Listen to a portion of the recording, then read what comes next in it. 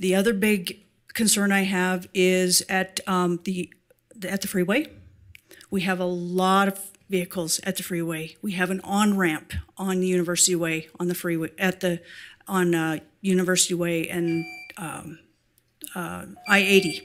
That to me is is a potential for a disaster. The safety principle is also relevant to take into account at network level. Let's see how this works. The key is planning links in such a way that exposure, accident risks, emissions, noise and stress are avoided. Often, links are planned next to busy arterial roads.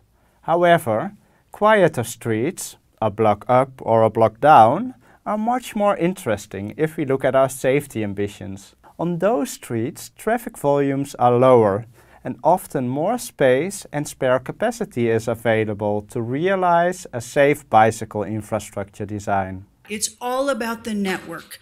We can Kerrie, talk, talk about, about that because we had a long discussion, and I think once you explained it to me, it really made a lot of sense. Can you kind of explain? So, so in order for us to be successful, we have got to start working on our network plan. How do we build a network in our downtown? Yeah. Our Truckee River is our main artery, and we want all of our we want our network to connect to our Truckee River because we we know how important that is, and we're we're going to start working on the accessibility around our Truckee River, Yeah. And and from Reno to Sparks to uh, Verdi.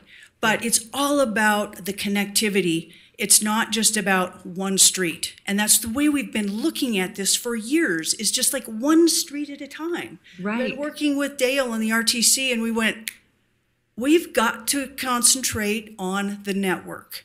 And and I'm kind of getting derailed here. No, but you're that right. is- that is part of the whole um, micromobility is because people don't want to just ride on one street. Right. They want to be able to get around. And we and I am passionate about that. I ride a bike. I but I'm not going to put myself in jeopardy if it's not at if there aren't lower volumes and lower speeds. That's exactly right.